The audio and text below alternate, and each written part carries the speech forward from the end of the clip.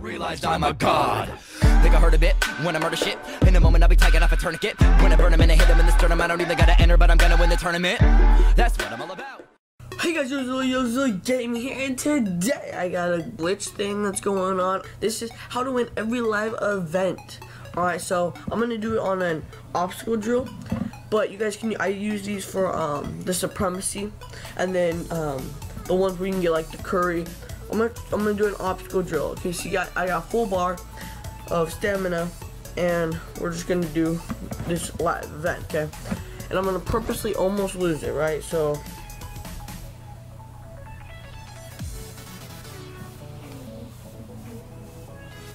There we go. I missed that. Still, okay. I got that. And now I see I got two, I missed two, and I just, I know I'm not gonna be able to hit it. So what you're gonna do is exit out of the game. Boom, and go right back to it as fast as possible. And let load, let it load.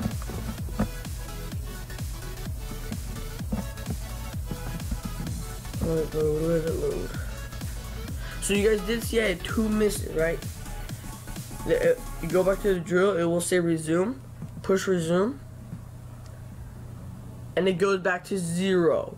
Zero attempts, back to start. So this is good for like supremacy when you're about to lose the game and because that's a lot of 10 um 10 energies to do it. It's a lot. So you guys always want to try to win. So this is easy. Now I can just go in and do this real quick. Boom. And as you guys can see, when we go back to menu, let's get our drill event pack. Okay, don't care. Boom.